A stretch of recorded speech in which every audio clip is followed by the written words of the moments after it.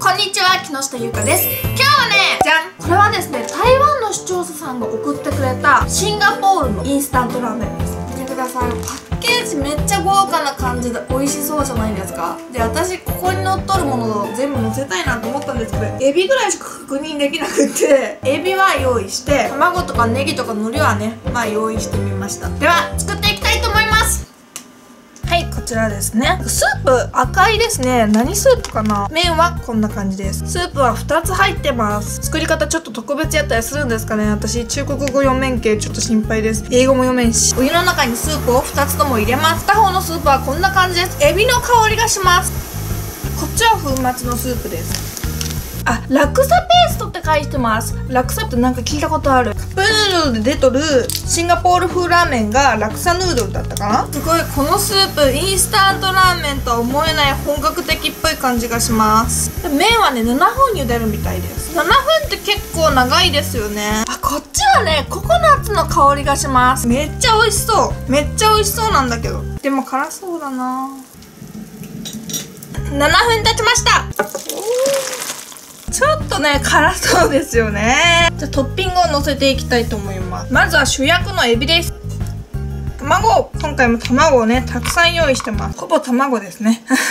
おネギそして海苔です。じゃん完成じゃんシンガポールのラーメンラクサヌードルの完成です。美味しそう。美味しそうだけどねちょっと辛そうだなと思った。いただきます。カップヌードルでラクサヌードルって出とったけさ本物のシンガポールのラクサヌードルですよね。インスタントではあるけど。麺がね結構ねちょっと太太い感じ。あ見てなんかね違うんですよ。ちょっと透明感があってつるんとした麺です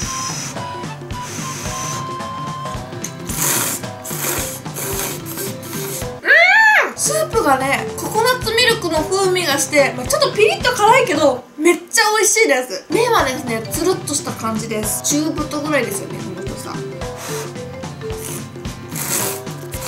これ7分茹でた麺ですからね。日本のインスタントラーメンの麺とは作りが違うんですかね。さあエビ食べます。うん。スープの味とめっちゃよく合ってる。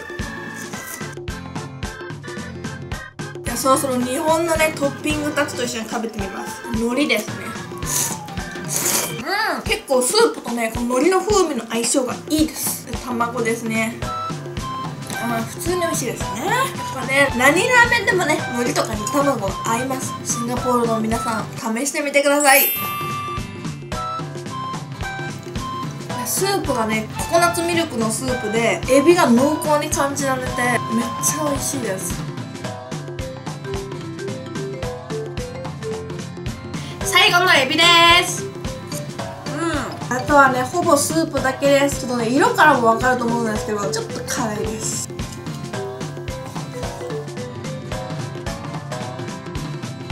ごちそうさまです。めっちゃ美味しかったです。ココナッツのスープにエビのペーストがたっぷり使われとってすごく濃厚で美味しかったですちょっとピリ辛でしたね。麺もね中太なんですけどつるんとしたちょっとコシのある麺で日本のインスタントラーメンの麺とはちょっと違いました。韓国の冷麺ってちょっとなんか歯ごたえのある麺じゃないですか。あれとインスタントラーメンの麺を足して2で割ったみたいな。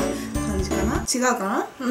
とにかくね つるんとした歯ごたえがあってめっちゃ美味しかったです。トッピングもねよく合ってました。エビが合います。台湾の方送ってきてくれてありがとうございます。海外のものって珍しいししかもどれが美味しいかが分からんけさこういうのが食べれるっていいですよね。はい。本日もご視聴ありがとうございました。この動画が良かったらグッドボタンとチャンネル登録ぜひぜひお願いします。バイバーイ